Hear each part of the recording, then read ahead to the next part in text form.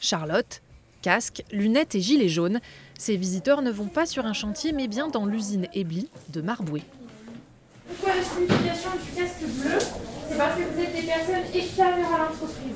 C'est un code couleur, c'est-à-dire s'il y a quoi que ce soit, on sait que vous n'êtes pas quelqu'un euh, qui vient de, de chez nous. Ici, la sécurité est maîtresse du bon fonctionnement de l'entreprise.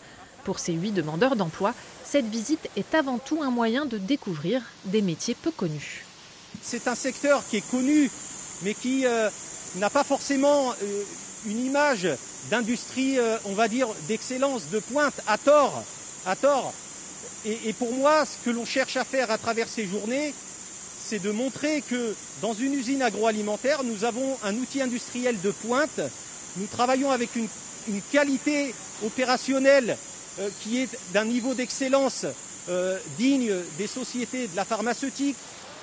Cuisson, remplissage des pochons et mise en palette.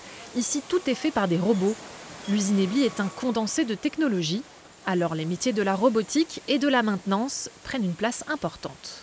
Je suis quelqu'un d'ouvert, d'esprit pour tout ce qui est expérience professionnelle. Donc honnêtement, pour ma part, oui, ça peut être possible. C'est toujours un plus, c'est une découverte, c'est un métier comme un autre et euh, c'est euh, un secteur qui recrute. Et euh, évidemment, c'est toujours c'est une opportunité très intéressante, bien sûr. Ebli ouvre ses portes au public depuis 5 ans. L'idée cette année est aussi de recruter pour ce secteur en tension.